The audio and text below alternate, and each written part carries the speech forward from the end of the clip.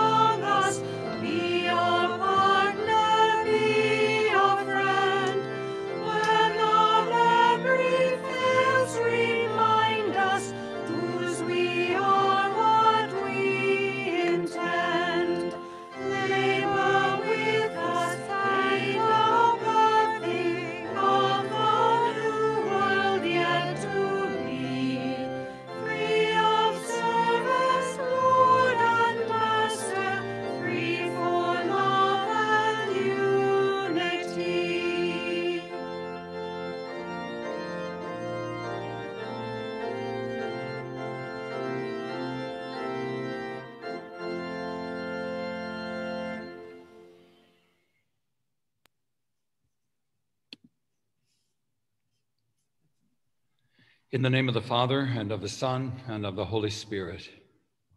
Amen. Amen. The grace of our Lord Jesus Christ, the love of God, and the communion of the Holy Spirit be with you all. And, and with, with, your, your spirit. spirit. The life of the Trinity challenges us to be for each other, just as the Father, Son, and Spirit are for one another. We cannot be people of love without being involved in the lives of others, in their joys and in their sorrows in their successes and in their challenges. Our feast today invites us to reach out, to heal a wound, to forgive someone who has hurt us, to mend a broken heart, to feed the hungry, and to create a world of love modeled on the Trinity. Let us open our hearts to God's saving word as we seek his mercy for our failings.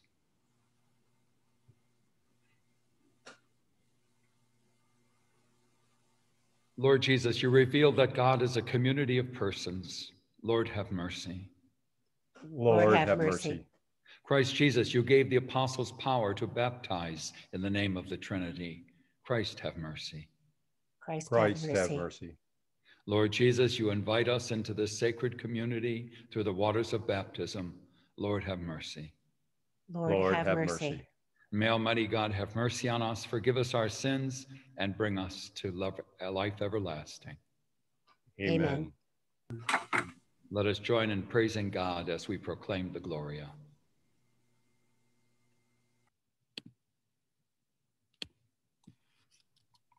I did not have that ready, Father John.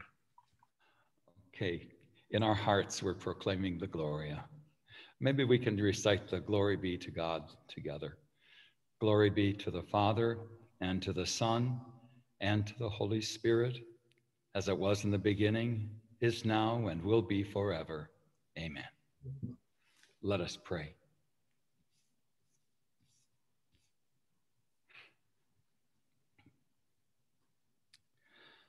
God our Father, you have given us a share in the life that is yours with your Son and the Holy Spirit. Strengthen that life within your church, that we may know your presence, observe your commands, and proclaim the gospel to every nation. We ask this through our Lord Jesus Christ, your Son, who lives and reigns with you in the unity of the Holy Spirit, God forever and ever. Amen. The first reading from the Old Testament recounts the Exodus story and describes a God who liberated the Israelites from Egyptian bondage by brute force. Violent acts are never the way to a true and lasting peace, and certainly not God's way. It's always important to take a critical eye when reading the scriptures and place them in their context. I ask Mary Ellen Judson to deliver our first scripture. This is a reading from the book of Deuteronomy. Moses said to the people, Ask now of the days of old before your time, ever since God created man upon the earth, ask from one end of the sky to the other. Did anything ever so great ever happen before? Was it ever heard of? Did the people ever hear the voice of God speaking from the midst of a fire, as you did, and live?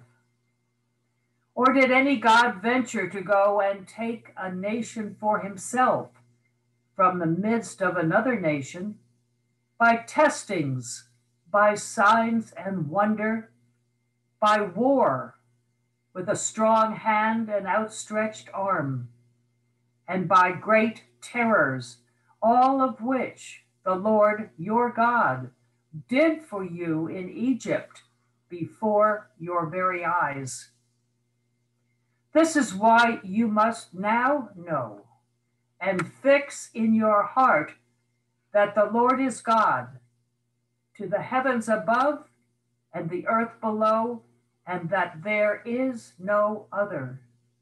You must keep his statutes and commandments that I enjoin on you today, that you and your children after you may prosper, and that you may have long life on the land which the Lord your God is giving you forever.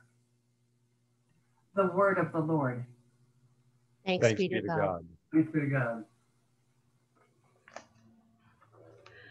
Happy the people the Lord has chosen to be his own. Happy the people the Lord has chosen to be his own. For the word of the Lord is faithful, and all God's works done in truth. The Lord loves justice and right, and fills the earth with love.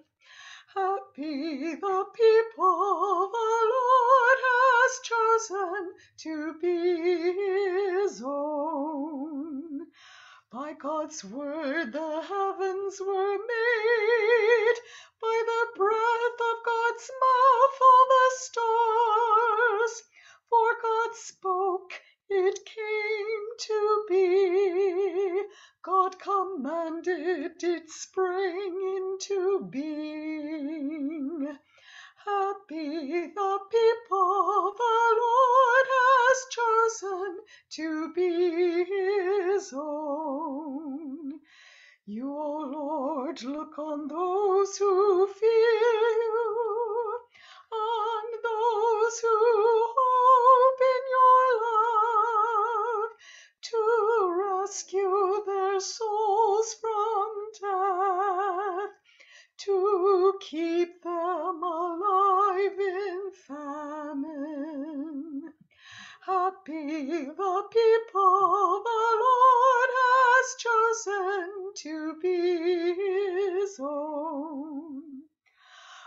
soul is waiting for you,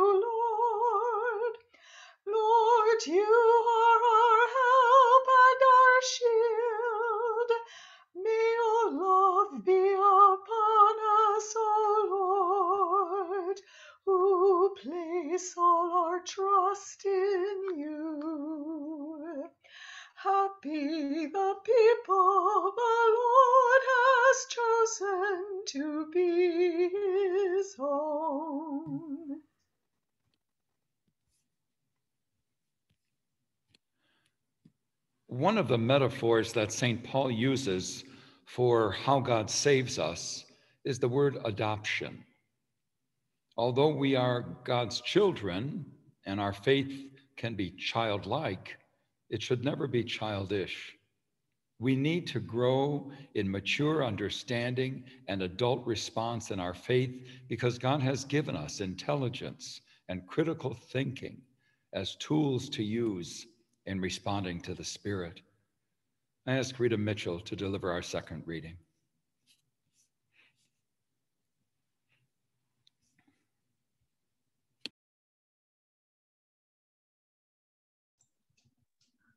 Okay, sorry. Sorry. Um, a reading from the letter to the Romans. Brothers and sisters, for those who are led by the Spirit of God are children of God. For if you did not receive a spirit of slavery to fall back into fear, but you received a spirit of adoption through whom we cry, Abba, Father. The Spirit Himself bears witness with our spirit that we are children of God, and if children, then heirs, heirs of God and joint heirs with Christ, if only we suffer with him, so that we may also be glorified with him. The word of the Lord. Thanks, Thanks be, to, be God. to God. Halle, halle, hallelujah. Halle, halle, hallelujah. Halle, halle, hallelujah. Hallelujah. Hallelujah. Glory to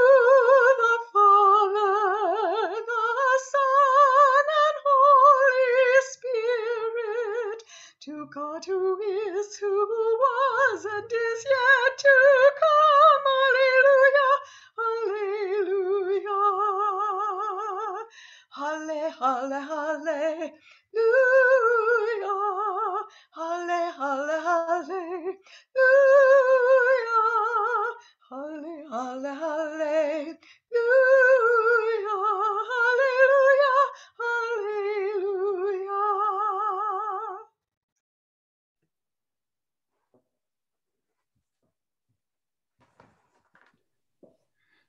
Brothers and sisters, the Lord is with you. And with, with your, spirit. spirit. A reading from the Good News according to Matthew. Glory to you, Glory o Lord. to you, O Lord.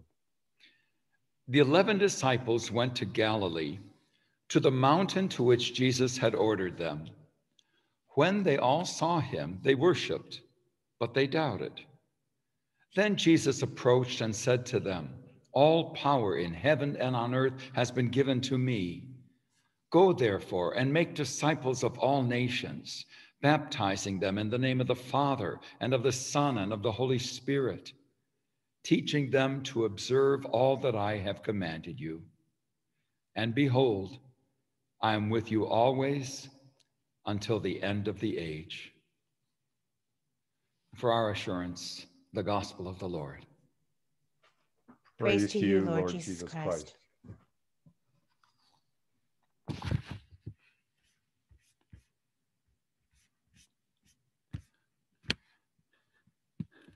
This morning on the uh, Feast of the Holy Trinity, a challenging feast at any rate, I'd like to illustrate uh, the homily for you.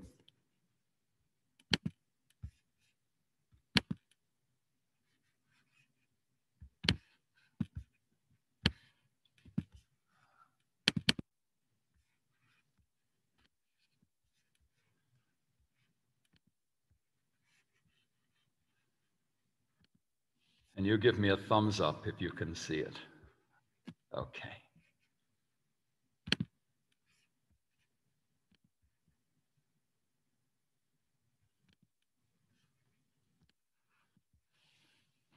There is no limit to the mystery of God. Long before it was a theory, God was an experience. One man writes about his first memory of understanding God. I was two or three, he recalls, and I was angry about something, very angry.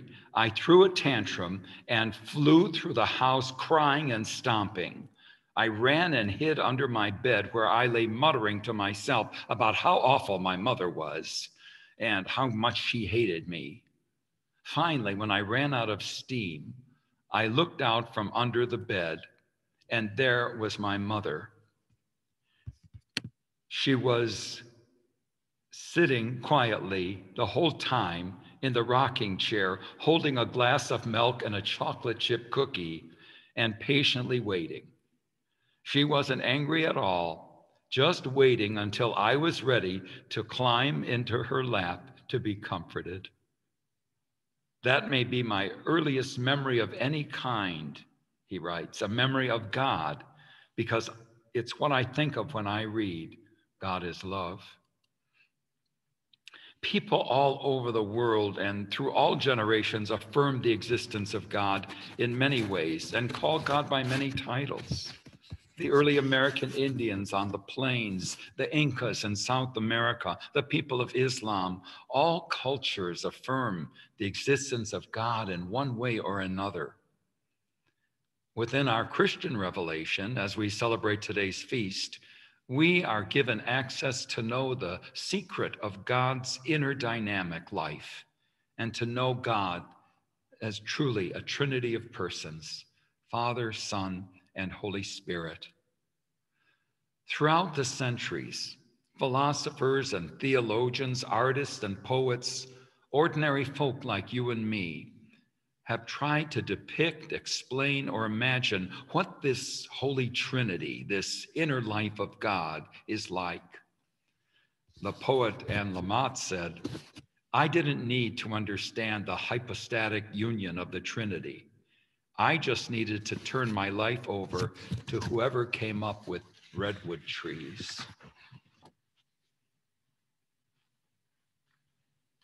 If we look at some images of Christ through the ages, I recall one similar to this that was on the first page of my childhood catechism book.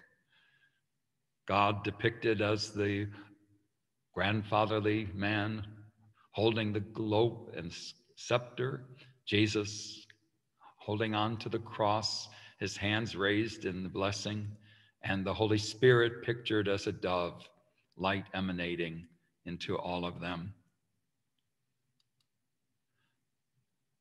Another similar depiction from a beautiful altarpiece in uh, Germany at a uh,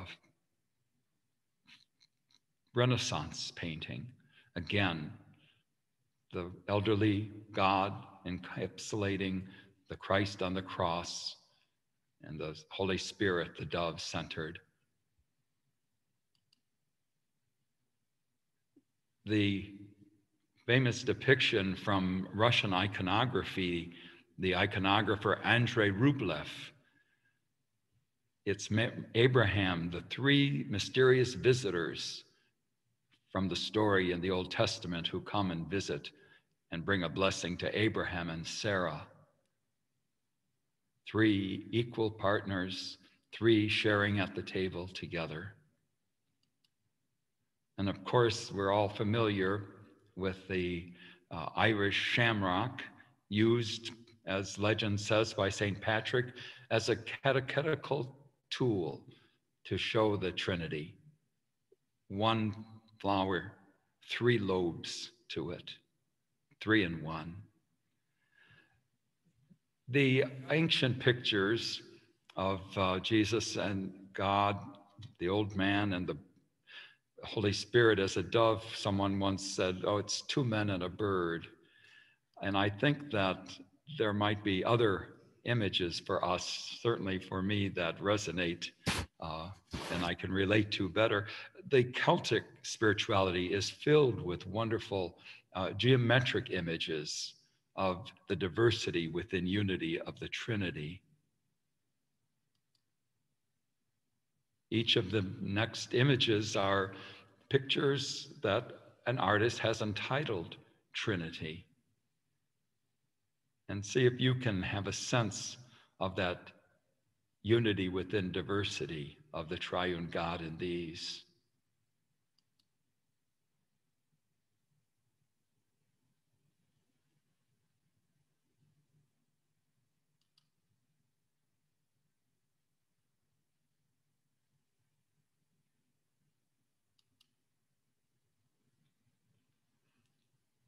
Many contemporary theologians and writers speak about the movement of the divine within the three persons. And so, images that capture a spirit of dynamism and movement uh, can also give us a glimpse into the inner dynamic of the Trinity. The sense of the cosmos. In the beginning was the Word, and the Word was with God, and the Word was God. And here we see cosmic images depicting Father, Son, and Spirit.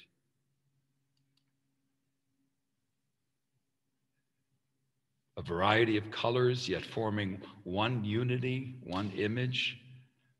This was done by an artist who used recycled paint from a hazardous material facility, blending a contemporary challenge environmental challenge with an understanding of God as movement.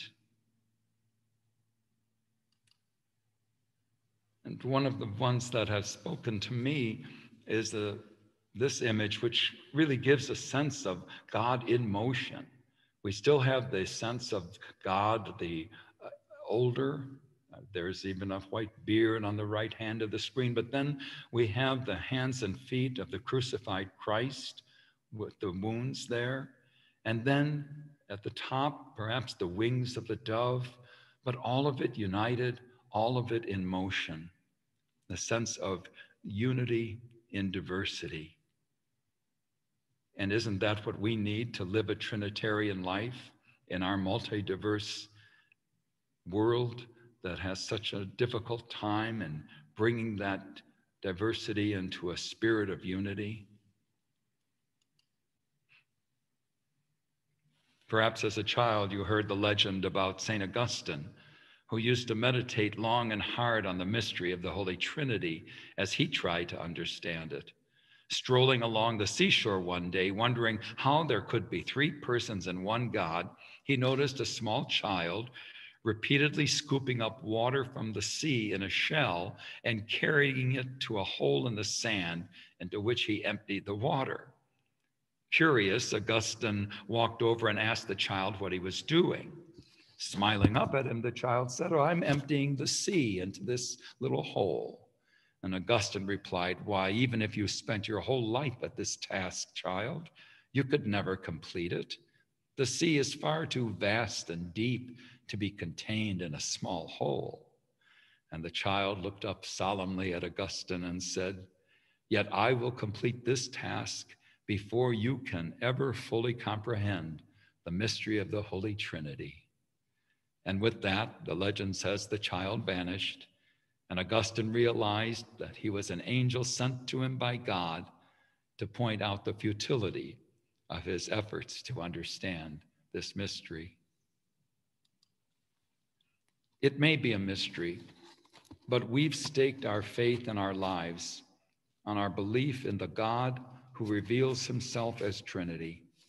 So I think we should do all we can, all within our power, to humbly try to understand this triune mystery we call God.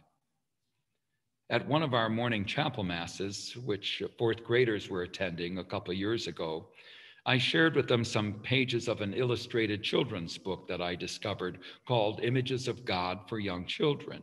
Each page had a beautiful illustration and a corresponding text.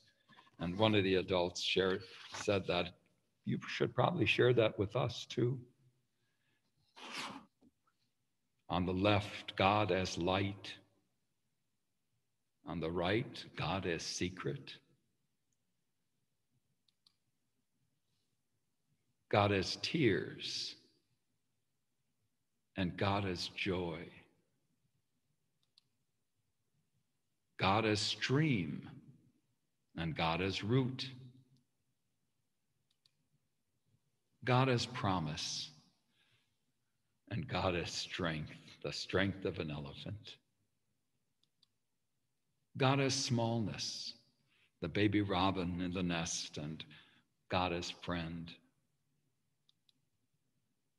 God as life in a newborn, and God as parent sending the child off for the day. In all these images, we see that God is essentially relational, not existing as some isolated entity, but in communion with, with the Trinity and with all of us. An Irish Dominican uh, wrote a beautiful reflection on his childhood memory about coming into the presence of his father after the boy had taken his bath, wrapped in a white bath towel like a newly baptized Christian, filled with delight at his father's pleasure in him, who lays his hands on his child's head as if in ordination.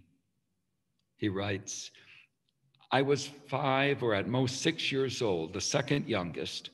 But once I braved the darkness of the stairs alone, my trial was over. From shadows into light, the door opened, and I stepped into the hush of the room. So vivid, I remember that bright threshold. But real illumination came moments later when I knelt down next to the fire, as near as I could to my father's chair, and bowed my head. I remember as soon as he began to dry my hair with a towel, and warm my hair with his hands, lifting his two palms to the fire and letting them rest on my head. I thought I was the son of a God. So make the Trinity the heart of your faith.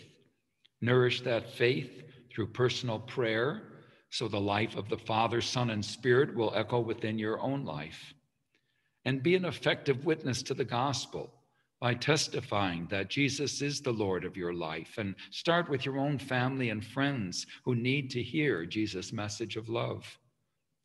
And look at the world with a sense of wonder. God is so much bigger than any definition we can devise or category we can conjure up. St. Paul, in his letter to the Romans for today's feast, informs us about the heart of the Trinity.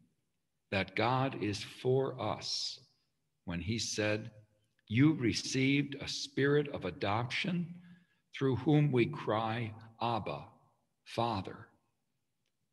Paul could as easily have said, When you go to God, cry out, Mama, Mother.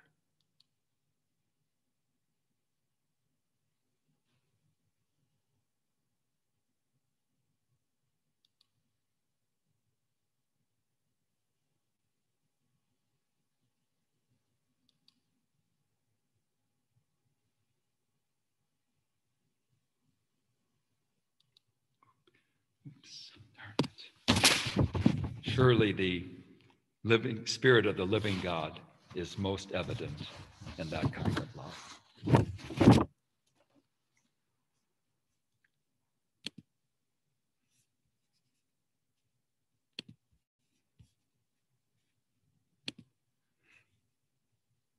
Let us joining in professing our faith in the triune God.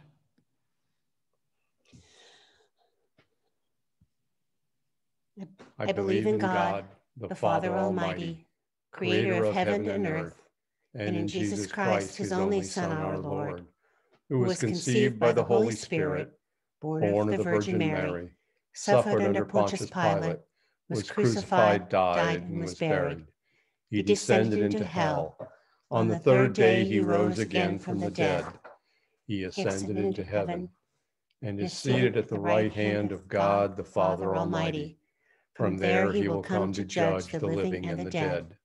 I believe in the Holy Spirit, the Holy Catholic Church, the communion of saints, the forgiveness of sins, and the resurrection of the body, and life everlasting. Amen.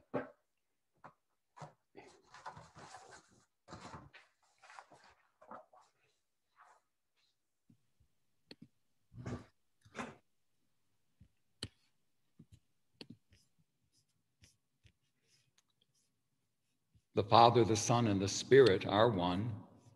Let us glorify God, praying as one family for all our needs. I ask uh, Maria and Dennis Roland to lead our prayer.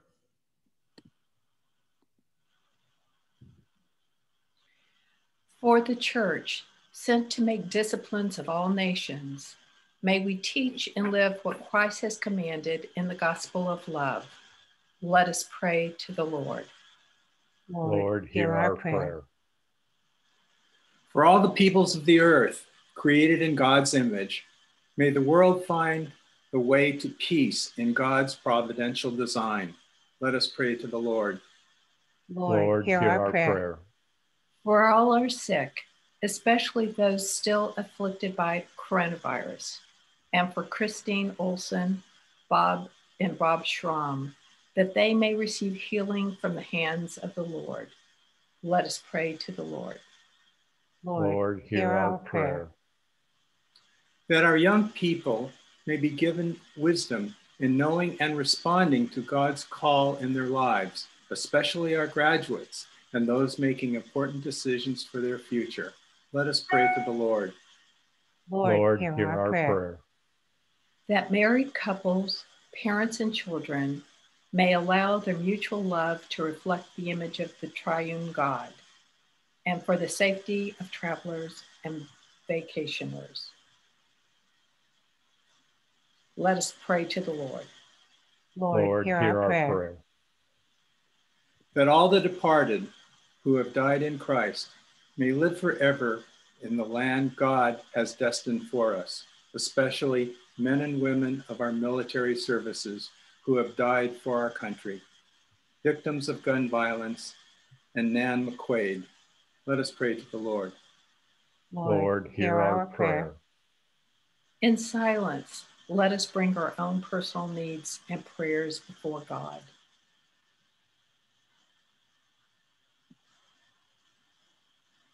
God our Father, you have given us a share in the life that is yours with the Son and the Holy Spirit. Strengthen that life within us that we might acknowledge your presence and be faithful to Christ's commission to spread the good news. We ask this through Christ our Lord. Amen. Amen. Let us join our hearts in as one as we pray as Jesus taught us. Our Father, who art in heaven, hallowed be thy name. Thy kingdom come, thy will be done, on earth as it is in heaven. Give us this day our daily bread, and forgive us our trespasses, as we forgive those who trespass against us. And lead us not into temptation, but deliver us from evil. Deliver us, Lord, from every evil, and graciously grant peace in our day, that by the help of your mercy we may be free from sin and safe from all distress, as we await the blessed hope and the coming of our Savior, Jesus Christ. For the, kingdom, and the power, and the glory are yours, now and forever. Amen. Amen. Lord Jesus Christ, you said to your apostles, Peace I leave you, my peace I give you. Look not on our sins, but on the faith of your church, and graciously grant her peace and unity in accordance with your will, who live and reign forever and ever. Amen. Amen. May the peace of the Lord be with you always. And, and with, with, your spirit. spirit. And those of you in your domestic church with your family, exchange that peace with one another as those of us worshiping alone extend it in our hearts.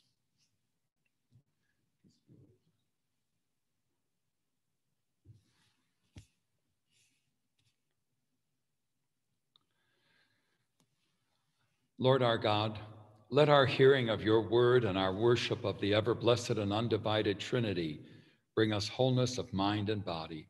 We ask this through Christ our Lord. Amen. Amen.